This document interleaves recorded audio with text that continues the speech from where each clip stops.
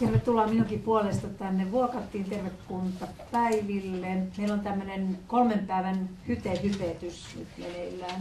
Toinen päivä on nyt sitten nyt meneillään ja huomenna vielä jatketaan. Tässä piti olla ruskakuva, ei tämmöinen kesäkuva, mutta jostain syystä nämä vempainet kääntää tämän kesäkuvaksi ihan väkisellä. Otin kuvan ruskasta ja kaunista rantamaisemasta ja no, olkoon. Ei paha No ei paha tuokaan, mutta tuota, ehkä, ehkä tuota, ajankohtaisempi olisi se ruska. Maire tyhjensi vähän nyt tässä tätä pajatsoa aika paljonkin, eli hyppään oman esitykseni lähes joka toisen kalvon nyt sitten tässä tuota, si, tuota, jätän sen, ettei tule toistoa teille, koska se on ikävä kuulla semmoista toistoa. Vähän sitä, että mitä me tehdään täällä Kainuussa terveyden, hyvinvoinnin ja turvallisuuden edistämisen työksi. Mä näen koko ajan täällä kasvoja, jotka ovat vahvasti mukana kainuulaisessa hyvinvoinnin työssä. Ja tässä on minun kollegoja kunnista, Arja Oikarinen Kajanista ja Anu Leinonen Paltamosta. Ja miksi me ollaan tässä yhdessä, niin se myös osoittakoon, että me tehdään tätä yhdessä, mistä kukaan ei ole tässä sellainen osaaja, vaan me toinen toisiltamme opitaan.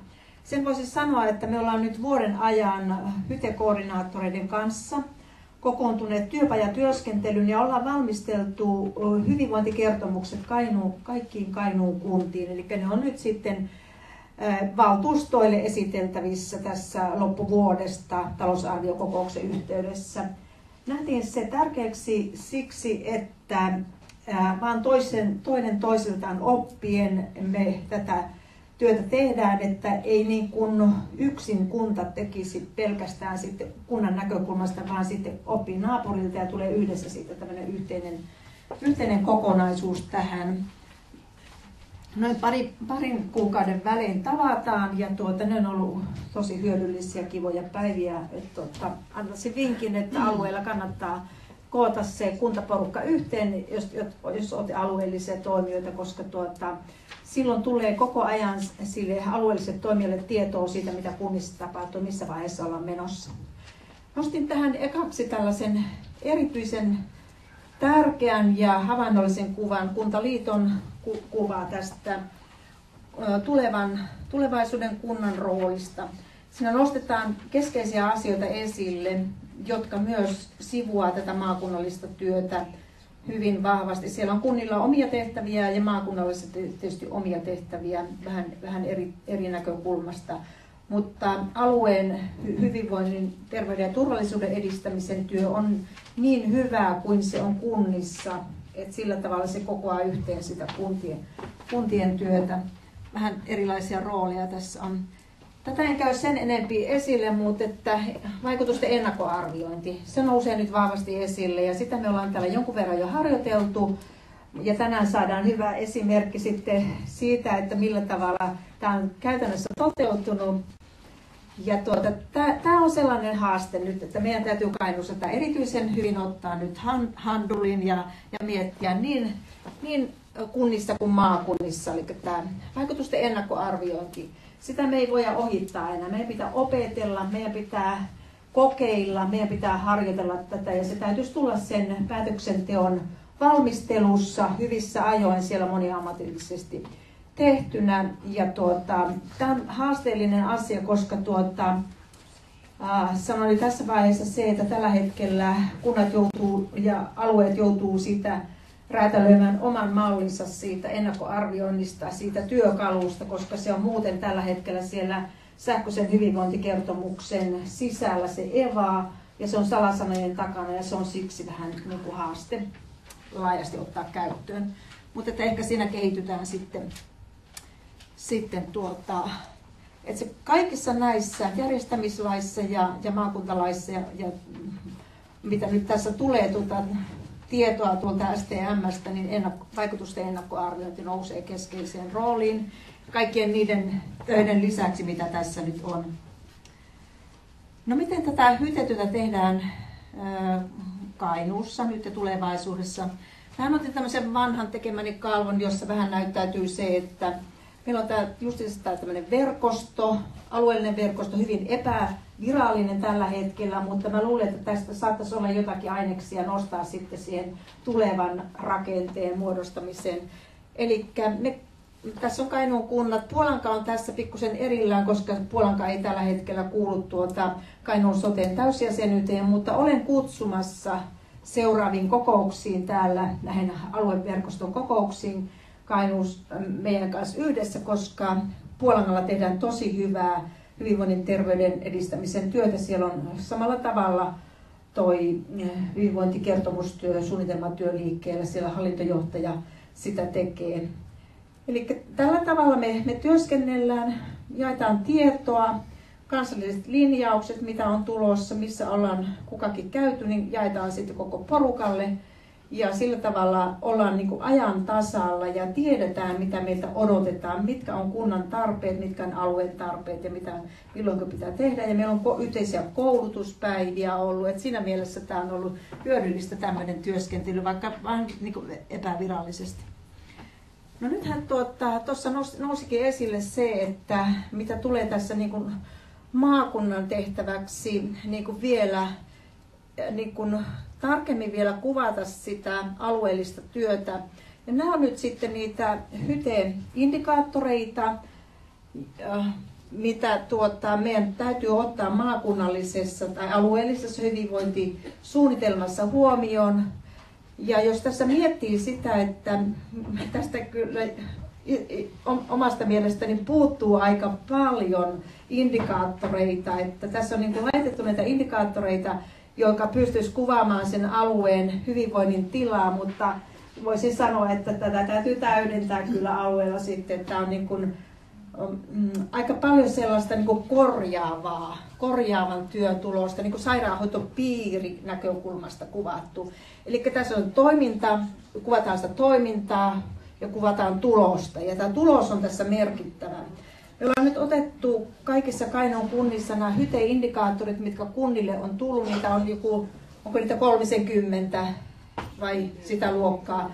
Kunnilla siellä nousee hyvin, hyvin vahvasti se terveyden edistämisen aktiivisuus, kouluterveys ja niin edelleen. Me ollaan otettu näihin hyvinvointikertomus oh, niin kuin rakenteen pohjaksi ne indikaattorit sinne. Ja mä toivoisin, että alueellinen hyvinvointikertomus myös sisältää näitä indikaattoreita plus sitten jotain muuta indikaattoreita, mitä me, mitä me tässä hyödynnetään sitten ö, omasta tietokannastamme ja, ja kansallisesta tietokannasta. Meidän pitää saada hyvinvointiindikaattoreita. Nämä on vähän jossain määrin tämmöisiä pahoinvointiindikaattoreita, voisiko sanoa tällä tavalla. Mutta on ensimmäinen koitos näistä, näistä tavallaan toimintaa ja tulosta kuvaavista mittareista – että me nyt varmaan nyt ensimmäinen alueellinen kertomus tehdään niillä spekseillä, mitkä meillä on ja sitten varmaan työskennellään jatkossa niin kuin eri, eri tavalla, vähän niin kuin oppien tästä. Meidän tästä mm, No miten tämä, tämä valmistelu sitten tässä täällä Kainuussa, niin tuota, nämä on tullut tuolta mm, STMstä, en ole itse näitä keksinyt, STMstä on tähän sitten laittanut, mitä tämä voisi olla. Kainuussa, ehdotus, että tämmöinen poikihallinnon strateginen johtaminen nousee. Ja millä tavalla me turvataan jatkossa kunnille se tuki. Ja, ja tuota, mitä se on siellä soten palveluissa, nämä ehkäisevät palvelut, meidän pitää pystyä nekin kuvaamaan ehkä tar- tarkemmin kuin nykyisin. Sitten mitä nämä yhdyspintapalveluiden järjestäminen. Täällä on järjestöjen edustajia paikalla ja meillä on yhteinen haaste tässä sitten työskennellä, miten me saadaan Kainuuseen tämmöinen malli. Ja meillä eilen jo aloiteltiin sitä hyvää yhteistyötä ja sovittiin palavereita sen suhteen. Okei. No tähän rupesin ihan vain esimerkin omaisesti miettimään näitä maakunnan hytekertoimia, että näin meidän pitää ruveta tekemään tätä, että pannaan se indikaattori toihin, mitä me aiotaan tehdä. Tämä on vasta esimerkkejä esimerkiksi, millä tavalla näihin täytyy meidän ruveta tuota, kokoamaan sitä suunnitelmaa ja toimijaverkostoa tänne. Että, että tämän tyyppistä se tulisi todennäköisesti olemaan meilläkin tämä kokonaisuus, että tuota, ja muidenkin indikaattoreiden kohdalla, jotta tämä tulisi tämä elävä elämä niin todellisuudeksi myös siinä suunnitelmassa, että ne, jotka osoittaa meille maakunnassa sen hyvinvointityön vaikutuksen sitten pitkällä tähtäimellä, niin me pystyttäisiin sitten siitä yleiskatteellisesta valtion osuudesta se siivu sinne hyvinvointityöhön sitten pyytämään tai osoittamaan, että me ollaan tehty näitä asioita täällä alueella ja meidän, meidän tulisi saada siitä se prosenttiosuus, mikä tässä tuota, tähän työhön kuuluu.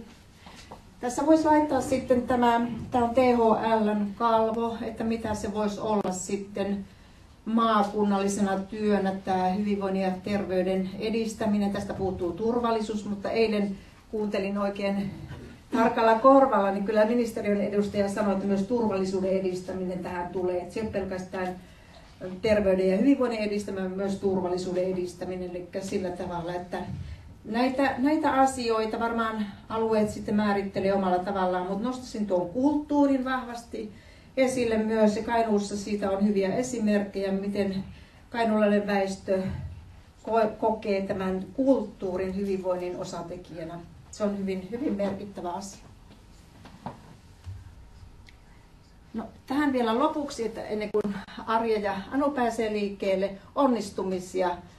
No mä jostain syystä sain onnistumisia enemmän kuin haasteita, mutta tämä, tässä mulla varmaan aika loppuu, että haasteitakin kyllä on, mutta mä en nyt sitten jotenkin hoksannut sitten tähän laittaa, koska kiire ja työajan puute, resurssin puute, ei niitä tällaisiin laittaa, koska se on vähän niin kuin joka puolella siinä No kuitenkin se, että kaikki kunnat ovat nimenneet hyvinvoinnin, terveyden ja turvallisuuden edistämisen työryhmät. Ne on yleensä johtoryhmiä, kunnanjohtaja tai ihan se läheinen hänen tuota, työntekijä tai johtajansa siinä sitä johtaa. Kaikissa kunnissa HYTE-koordinaattorit, jopa 40 prosentin työpanoksella on Sotkamossa. Onko Sotkamon Heidi paikalla? Heidi on siellä paikalla. Heidi tekee 40 prosentilla hyvinvointityötä Sotkamossa ja sehän näkyy teillä.